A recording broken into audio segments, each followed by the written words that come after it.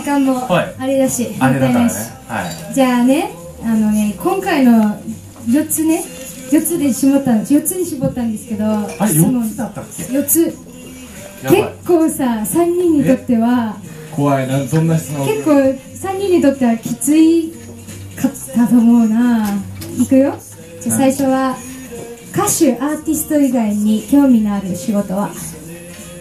音楽以外で。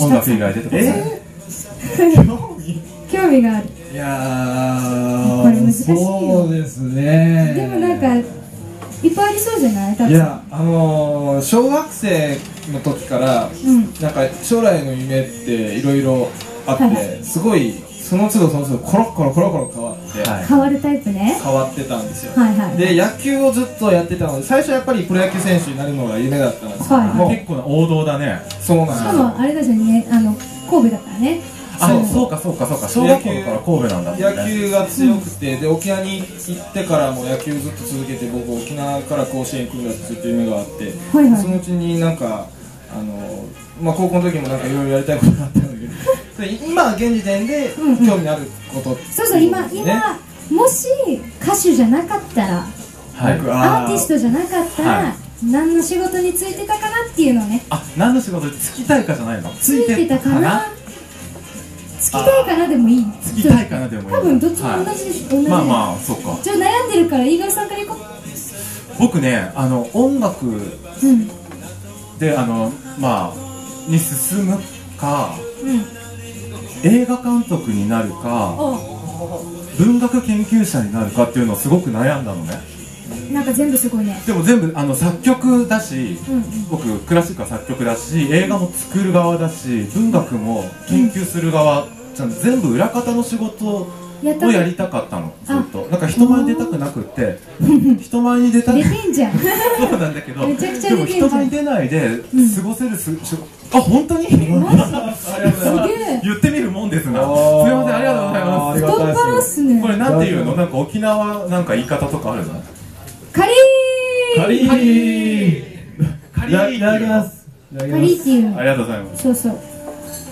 私はまだ歌わないといけないから。そうだね。なんはかリサちゃんはダメね。い。でそう僕だからそれだから映画監督になりたいとかあったんだけど、今それね親にねうんその3つで迷ってるって言ったらね、うん親がね映画監督なんて食べれないわよとかで文学研究なんか食べれないわよとか言っていか音楽家になったら食べれるからさとかそれでなんかお金ができたら映画撮ればいいじゃないって言ってさせられたのね。させられたのね。そう。でもなんか噂によるとさい最終候補でしかなかったとか音そう。楽は。そう俺はそう。だから他にできることがあれば音楽には進みたくなかった。なんか親が音楽をやってるのを見てるから、なうん。その世界が苦しいものだろうとはねうすうす想像がついてたね。どっちもだしねしかもね。そうだね。あのねそれね正確に言うと母親の恋人なのよ。作曲家が。え？あのちょっとね複雑で。あオッケーオッケー。そうそうそう。あの複雑なやつ。複雑なやつ複雑なやつですね皆さん。理解してください。はいはい。察してください。ね 察してください。はいはい。はいでだからまあ音楽は絶対進みたくないと思ってたけど結局それしか残ってなかったんでね。そうか。でじゃあじゃなかったら映画監督か文学研究者だけど今は者今はというか自分に才能があればとか、うん。子供の頃からやってればよかったなって思うのが、うん。三三えー三味線あの歌舞伎の、うん。へとか、そううん歌舞伎の三味線弾きとか慣れたらよかったなとか、はあとはあの棋士将棋指す人とか落語家とか、なんか絶対わからないやつだよね日本の文化をねそうなんか俺そういうものがすごく好きで将棋すごい好きだし落語もすごく好きだし、はあはあの歌舞伎もその歌舞音楽っていうものがすごく好きだったりとかするから、あリザあらいやー。ノンアルコールカクテル的なものでしょうか的なもの。怪しいぞ。ああすごい。乾杯。え乾杯なのカリカリーいただきます。いただきます。ヘイ。ヘイ。あヘイ。はいもうなんか終わったみたいだね。うんそうだから僕はそういう感じだね。なんか伝統的な何かできたらよかったなと思って自分が西洋的なものしかやれてないからさ。美味しい美味しい。薄め美味しい美味しいレモンサたっワー。くんは？じゃあ進めとこうか。僕そう思い出したんですけど小学生の時にハマってたゲームがあって、はいはい。電車で GO っていう。ゲームにすごい。どんなや渋いんだけど。電車で GO っていう。あの電車な電車の運転手のゲームがあはあったんですよ、うん。でゲーセンとかにもあったし。うん。で電車そういえば好きなんですよ。あじゃあ車掌さんとか。ちょっと待って今日いいるよ？一人。え？そうなの？いやいやいるんだよ今日。僕ね同居人がいるんだけど同居人も電車が好きなんですよ。ああなんかあの僕別に撮り鉄とかあ撮り鉄とか乗り鉄じゃないじゃないんですけどなんかあのそういう技術職的なものにすごい憧れたりとかる。でもさ、うん。なんかさ音楽の仕事やってるとさ、うん。うんその技術職って憧れがない、うん。あーそう憧れる。なんかなんていうの？僕ら手に職があるわけじゃないじゃない？そうね。なんか、うんあの他にやれることがなかったりなんか社会からあぶれてさステージに登っちゃった感じでしょ？どういうことちょっと待ってちょっと待って待って何言うの？ちょっと待ってよ一応技術職だよこれもあ技術職？はうん。まあまあそろそろ私も喋っていい？いいよ芸術家。芸術家。芸術家。芸術家。あじゃああの電車関係になった電車はすごい好きですね。もしもしもし。あのじゃあ沖縄だったら無理だったね。無理だね。モノレールがあるじゃん。あああったあった沖縄中分はないからそんな別に印象はないよね。あれ強くない、ユーレールうん、はもしかしたら名護まで伸びるかもしれない。頑張ってもらおう。頑張ってもらいましょう。バスがねバスが時間通り来ないから沖縄は。あとそうだよね。あとあの最近うん。YouTube でハマってるのがあって僕警察24時。大好きこれ。超好きだよ24あのドキュメンタリーみたいなやつ？あのそうそうあの警察をね追っかけるの。そうだよね。そうそう。ドキュメンタリーみたいな。なんか警察がなんかよくわからない。なんか酔っ払いのなんか女とかが暴行とかしてそうそうくれるでしょそう。大体千葉県なの。大体千葉そ県の。偏見さちょっと全然もうでも、まあ、千葉もいいところですよね。いないね今日ね。今今いないね。トイレ行ってるね。よかったよかったよかった。はもう白バイ隊員いうん。好きなんですよ。う。ん白バイ好きなんですよいいなんか全然なんかどんどんなんかさ好きなものがさなんかいろいろもういいよねバラ白バイの人ってあのマラソンのさねそうそうそう。喋っていいねえねえねえ二人ともさ喋りすぎだよじゃあねリサちゃんリサちゃんは何？もう忘れたよ自分のやつえ何？何がいいかな？何がいいかな？何がいいかな？え考えてなかったの？あ、待ってなかった。ね。待ってよ。ちょっと待ってよ。でも、あの、人種変わっちゃうけど、インはいディアンになりたかったの。ちょっと待って。職業ごめん職業じゃないから。ね。インディアンになって、あれなりわいにしてないからさ。あれさ、あの、一緒にさ、あの、なんていうの、移動移動したりとかするじゃん。うん。移動したりとかするんだよ、インディアンって。あれしたかった。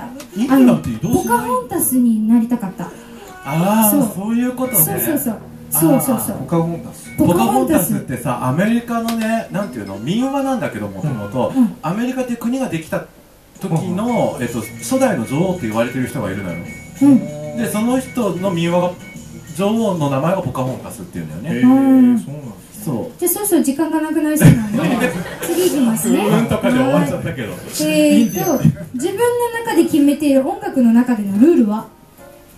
音楽やってる時にはい。多分自分のこだわりみたいなのがあると思うの、はい。みんなのね。はそれを簡潔にあのすごく短縮してはいどうぞ。はいえー、っと今日これが最後の演奏でこの1時間後くらいに死んでもいいって思う気持ちでやることにしてます。やばいどうしよう。すごいのが来た。いしかもしかもしかもかぶった。ちょっと待って待ってどうしよう自分が恥ずかしくなってきた。じゃあリサちゃんはやめよう待ってもうえああーあーなるほどうしようど一応あのオリジナルね、あの作るたりとか音楽を作る中でもうあの人が聞いてどう思うかよりも前に自分が聞いてどう思うか。ああでもそうだよね。自分の音楽っていうのを客観視するってことだよね。そうです。なんか自分が作ったものでもすごくこれいいって真に思えるってさ大事じゃん。うん。なんかね、なんか自分が作ったものでもしああこれダメだっていうその自分を客観視して音楽を見れることは大切だよ大切ですよね。ね第三者目線ね、うん。やっぱりそういうの必要だと思います、僕は大切だと。はいじゃあリサちゃん。は、どうしよう。あのー歌うこのステージで歌う時に必ずチョイスする曲は自分があこの曲大好きだって思った曲しか選ばない。だから歌わない、うん。なんかもう他の大体さカバーとかもするじゃん、ん。この世界だと。もうあのただ単に歌ってるのはダメだと思ったの。だからね。うん、この歌詞の内容があ自分がこういう時こういう曲聴きたいなとかこの気持ちよくわかるなとかこの曲超好きだなって思う曲しか歌わない、うんうん、それも。偉いよね。特にさ民謡とかやってる人でそれは偉いよね。ね、うん。あの内容知らない人多いじゃない？あの方言が知らなかったりとかさ。あの今もう方言離れがすごいから沖縄って。だからこの意味を調べる。方言だったら全部。うん。でそれを踏まえた上であ好きだなって思った曲しか歌わない。私はステージの上で。そうだよね。偉いねもう説明できないと意味ないしね。そうだよね。うん。そうそうそう。あありがとうございます。あどうもあどうもありがとうございます。なんか嬉しいね。あらまああらまあありがとうございます。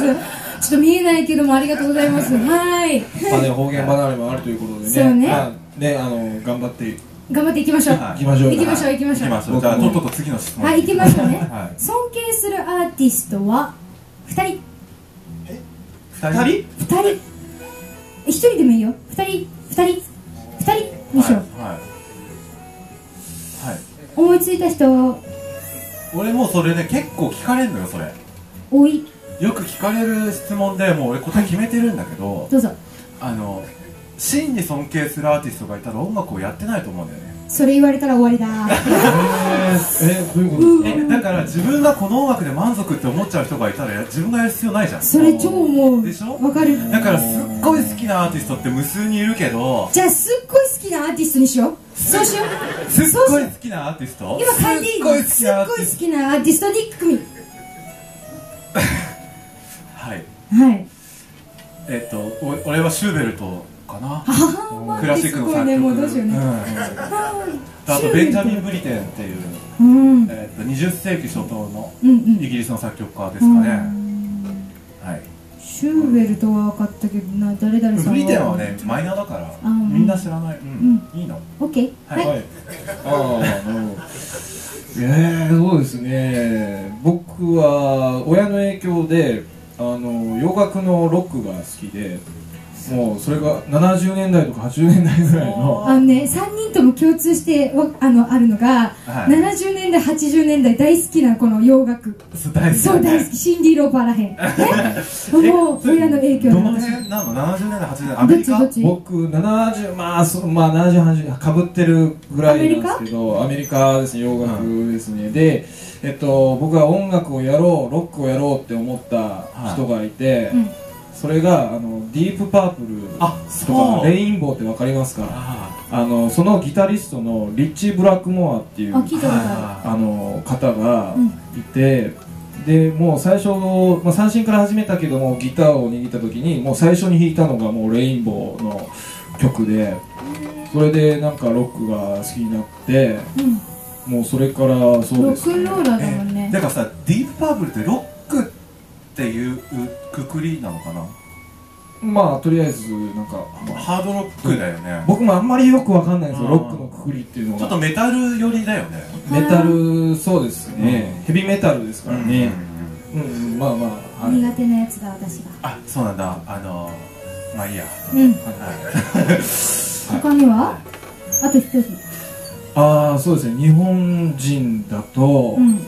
そうですね。僕は斉藤和義さんあ好きで結構なんかドキュメントみたいなのもあったり見たりとかするんですけどやっぱりあのー栃木県出身で、はで上京した時はなんか4畳一間のもう天井がこんなになってるなんか危ないね。吉祥寺のアパートに住んで、もうなんか278歳デビューしてみたいなね、はい。なんかそういうなんかなんて言うんだろうね。あなんか自分を貫いててかっこいいねもあるんですけどなんか生活っていうかなんか貧乏な時からはいなんか這い上がっていくっていく感じのあまあちょっとい言いたいこといろいろあるんですけどちょっまあそそういうところ。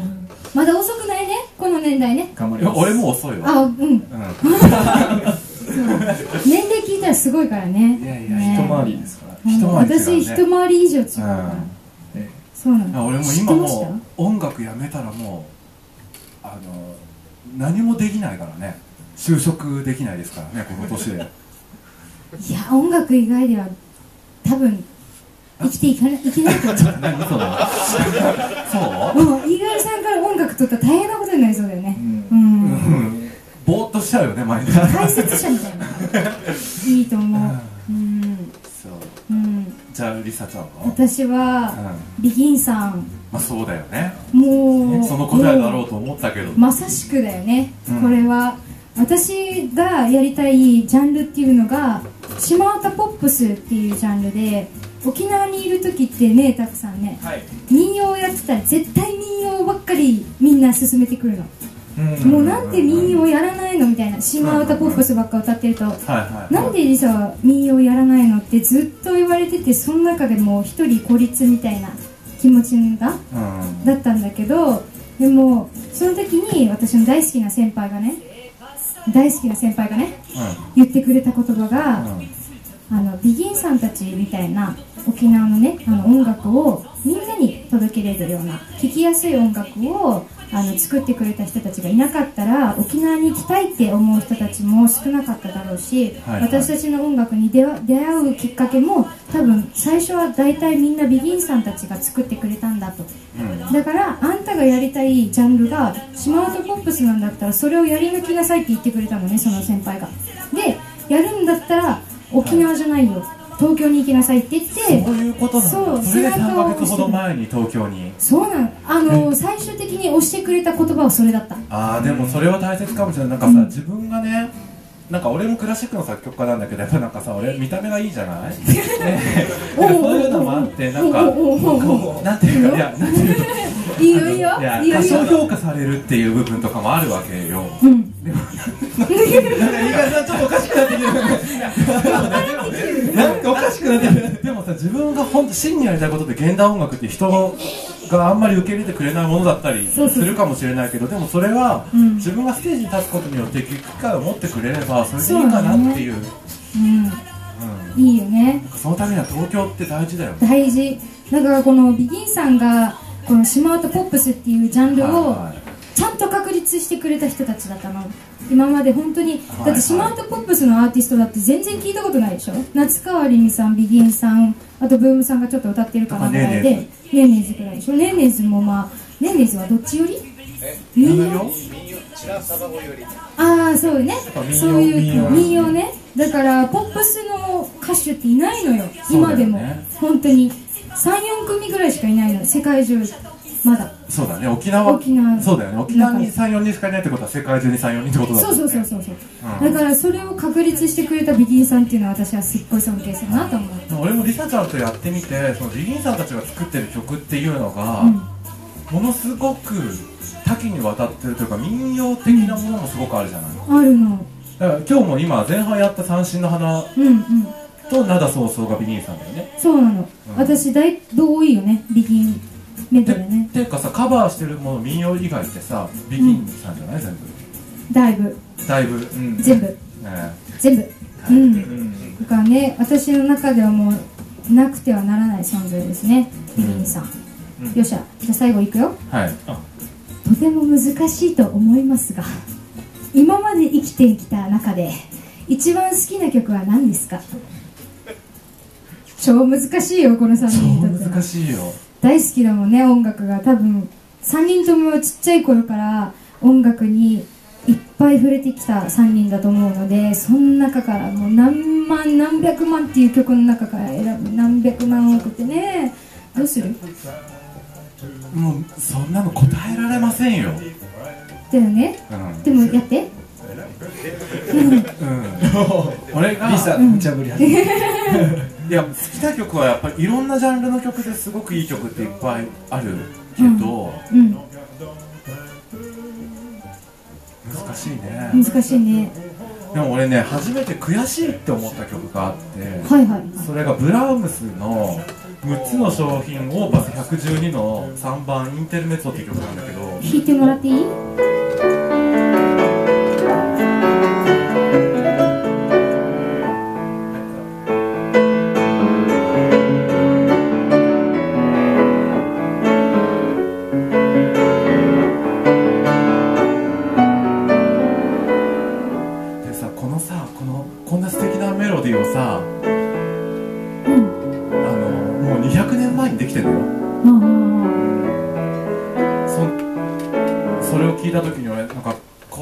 てねえわって思ってあ18歳くらいの時に泣いたね。あへえ泣いたんだ。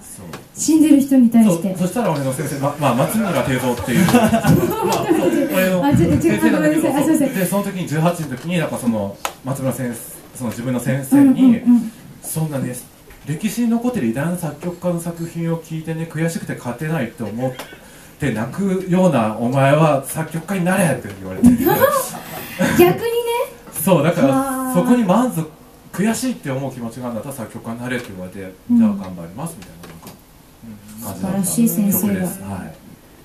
それじゃあそれにしとこう？うん、それですね。はい。ブラームスのブラームスえー6つの小品オーパス112の3番インテルメッツォ全然覚えられない。112ぐらいしか覚えられない。たくさんは？は何でしょう？僕ですねもうパッて言いますけど、はいはい。えー記憶の中にあるうん親にうん。これ聴けって言われた曲があって、はい。えー、ボンジョビ。